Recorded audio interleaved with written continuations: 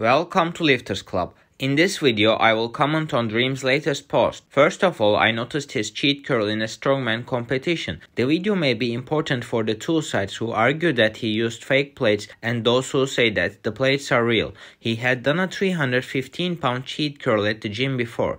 The weights at a strongman organization are very unlikely to be fake, but the problem is that there is no information about the weight in the post. So those wheels can be around 90 pounds each with Dreams in real life. We can't really know exactly Exactly. When I look at Dream's muscle mass and body, these incredible numbers he did in the gym actually seem possible. Some people who knew him well and trained with him wrote to me that he was truly incredibly strong. I would still like to see him in real life. He also did a 7 plate ass to grass squat in the past few weeks. It's a very impressive figure overall and especially when considering the arm pain during the Zercher. Although this isn't his heaviest Zercher squat, the speed looks very good and there's this interesting superset. He did sit-ups with four plates and then trained each of his arms separately. I think this is one of the weirdest supersets in the world. That's it for the video. If you liked the video, make sure to like and subscribe.